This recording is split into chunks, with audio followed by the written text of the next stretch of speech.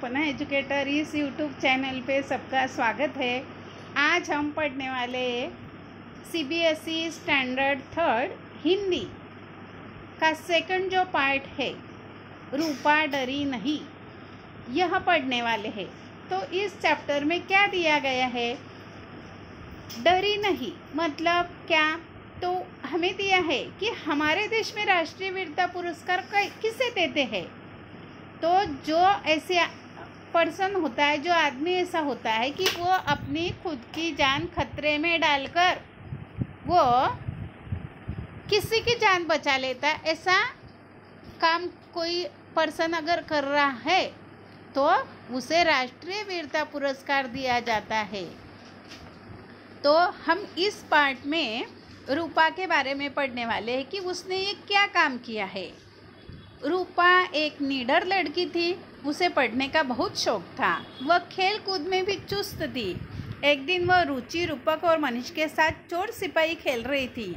मनीष चोर बनकर कहीं दूर छिपा था। रूपा मनीष को ढूंढते हुए गन्ने के खेत में जा पहुँची। पर यह क्या? मनीष के हाथ पाँव रस्सी से बंधे हुए थे। उसके मुँह पर कपड़ा बंधा हुआ था। रूपा एक पल के लिए सहम गई। फिर साहस बटोर कर उसने मनीष के मुँह पर बंधा कपड़ा खोला। तभी किसी ने पीछे से रूपा के कंधे पर हाथ रखा। रूपा डरी नहीं। उसने उस आदमी के हाथ को ज़ोर से काटा।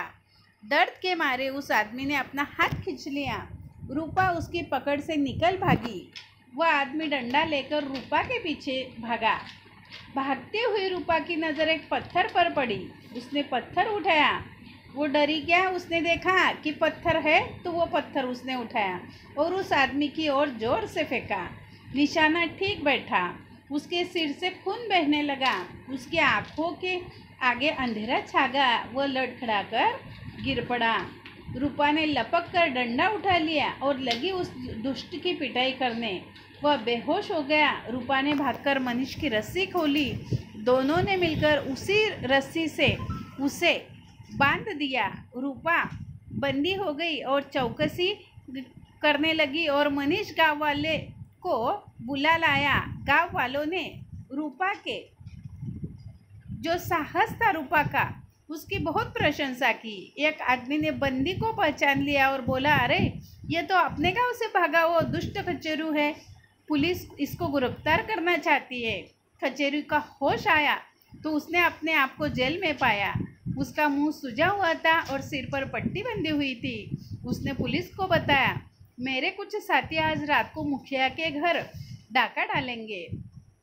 यह समाचार मिलते पुलिस चौकन्नी हो गई। रात के समय स्कूल के एक बाहर एक जीप रुकी उसमें चार डाकू बाहर निकले। पुलिस ने तुरंत ही उसे गिरफ़्तार कर लिया। उनमें से एक के हाथ में बंदूक थी।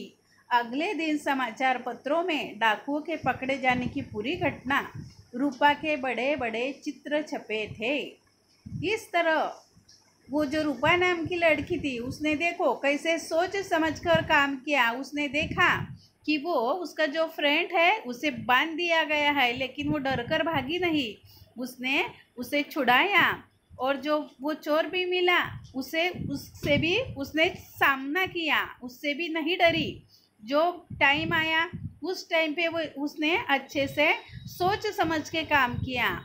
ऐसी थी वो रूपा निडर लड़की तो आप भी ज़िंदगी में ऐसा ही काम करना, कभी ऐसे लोगों से डरना नहीं। और हर समय पे सोच समझकर उससे राह निकालना। स्टूडेंट्स, मुझे लगता है कि ये आपको वीडियो पसंद आया ही होगा तो आप इसे लाइक करें, अपने दोस्तों के साथ शेयर करें, चैनल पे नए हो तो सब्सक्राइब करें। Thanks for watching.